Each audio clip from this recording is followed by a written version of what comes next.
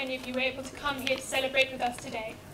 We know that you really went out of your way, taking time off work and spending a lot of money to be here, and we really appreciate it. היה לנו חשוב מאוד להת- להתחתן בארץ, לעשות את זה בחוג המשפחתי גם בארץ. ואנחנו רוצים להגיד תודה לכולכם, שאתם עושים לנו את היום באמת, סליחה. פעם אחרונה שנתתי נאום בעברית זה היה בכיתה ב', אז אני מצטער. האווירה והשמחה שאתם נותנים לנו כאן באמת עשתה את זה שווה, עשתה החלטה, הייתה החלטה טובה להביא את זה לארץ, ואנחנו רוצים להודות לכם ובשמי ובשם ג'ואנה שהגעתם לכאן.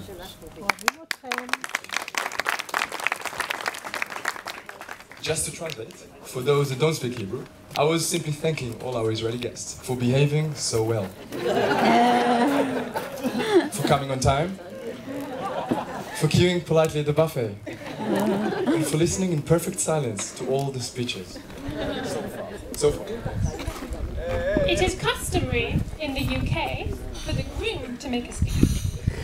Usually he says how wonderful his bride is, how happy they are together, and how perfect they are for each other. But as you can see, Joanna and I decided to do a joint speech. This is because I am a true believer in equality between husband and wife. And what a better place to start in this wedding speech. In other words, I'm the boss. People are often surprised quite how different Joanna and I are. Let us give you a few examples of our differences. I would describe myself as a thoroughly relaxed, go with the flow kind of girl. I'm totally unfazed by anything that comes my way and have remained 100% calm at all times when planning this wonderful wedding. I, on the other hand, am a little bit more uptight. Your typical Brit. Being the traditional guy that I am, there is nothing I love more than sitting in a comfortable chair amongst the buzzing crowd at the opera. And I love the ballet. And I even I can even tell the difference between the Tchaikovsky version and the Prokofiev version of Romeo and Juliet. He's such a cultured guy. He keeps dragging me to all the latest museum exhibitions, art galleries, and classical concerts. And she insists on dragging me to all the Manchester United games whenever we visit my family in Manchester. It's my favourite team.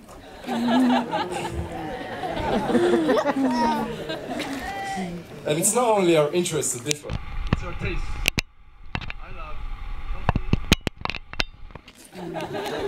Nothing gives me more satisfaction than digging into my favorite dish. Red lentil soup, followed by green bean and tofu salad. Nah, it's all about a juicy steak for me. Yeah. And it is also clear that I am the fashion guru within this relationship. He masterminded the creation of this beautiful wedding dress. And doesn't she look stunning? Yeah. Standing to your. So as you can see, we really are quite different. It's a good thing my sister-in-law Liron didn't think too hard before setting us up. Thanks, Liron. We owe you one.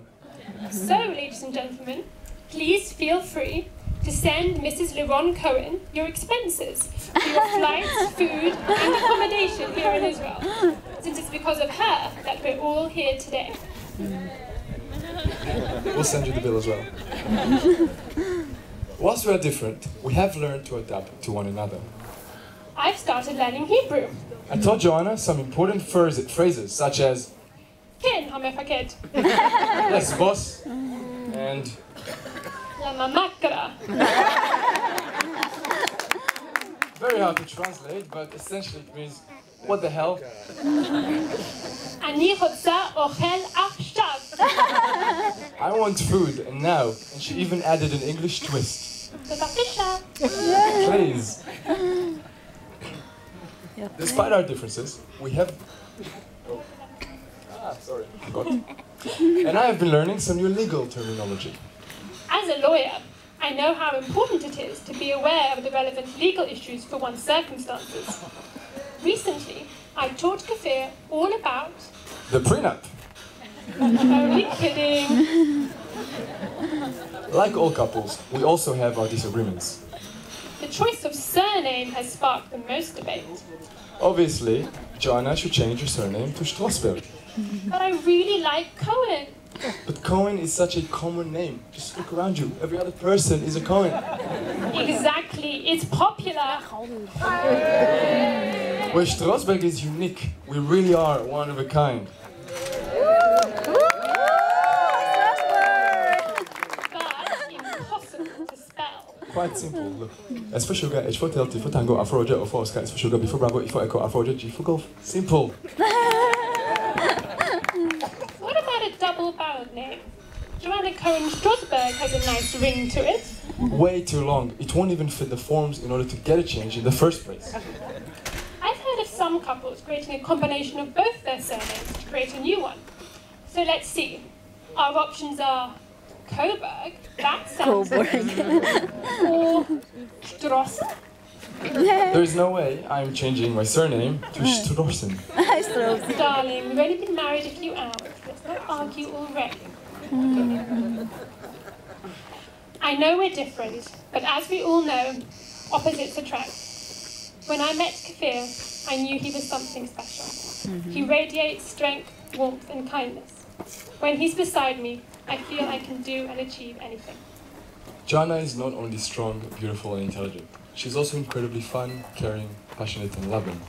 Joanna has shown me a new world I never knew existed. We've spent some amazing moments together, and I know that this is just the beginning of an amazing future. We must now, and we must of course mention some important family members. My cousin Igal and our resident photographer. Thank you so much. Thank you so much for all your help over the past few months and for being so patient with me. Dana, thank you for helping us take care of this wedding. We really would have been lost without you. And now we must thank our new in-laws. Hedy and Malcolm.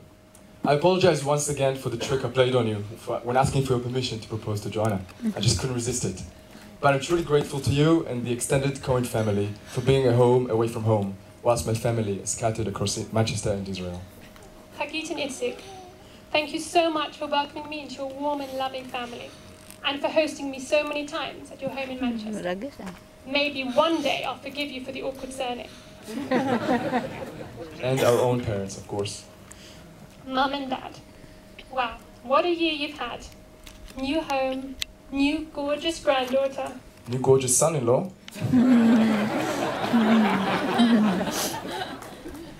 So much for all your help and support in the last few months and for your kindness, generosity, and understanding. I'm truly grateful for everything you've done for me throughout my life. You've always been so selfless, always putting your children first, and doing everything in your power to give us every opportunity in life. I hope today, on my wedding day, you're proud of me, and that all the hard work has been worth it. Abba Veima, mom and dad, I can't thank you enough for everything you've done for me. We all know the phrase, give a man a fish and you feed him for a day. Teach a man how to fish and you feed him for a lifetime. You've brought me up and taught me to make the most of every opportunity that comes my way, and I would not be where I am if not for you. And talking of fish, did I catch a great one right here? all right, that's it from us. Time to get the party started! Please, everyone, get up from your tables. Join us for our very first dance.